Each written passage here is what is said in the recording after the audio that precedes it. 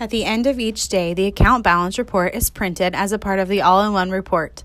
But what are you supposed to do with this information? This short video will help you learn to quickly identify students whose balances require your attention and decide what is the best course of action to take.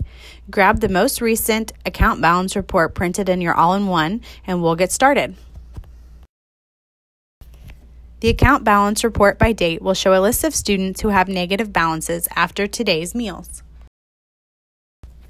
The list shows you the student's information, eligibility code, and their balances. We are concerned with the last column, the total balance.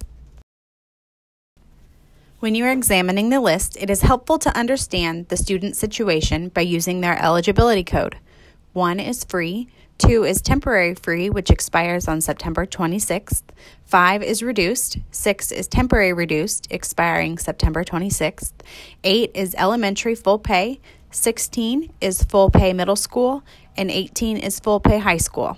For example, high balances on a full pay student should be high priority for you to address, while high payments on a student who is free is outstanding balance that is no longer accumulating and would be lower priority. You should also consider the sum of the negative balance for students of different statuses. In SOP 3, the collection of monies and charge policy, a balance of negative $35 for a full pay student and a balance of negative $7 for a reduced student should be communicated to your principal. If your principal has a 6A on file with Nutrition Services, you could simply copy the account balance report and highlight the students with high balances and turn it over to your principal. Remember, if your principal doesn't have a 6A on file, or if you are unsure if they do, always use a black marker to void out the eligibility code column.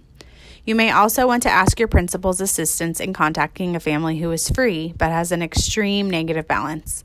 A payment plan could be suggested to this family. The account balance report can help you identify issues with student status as well.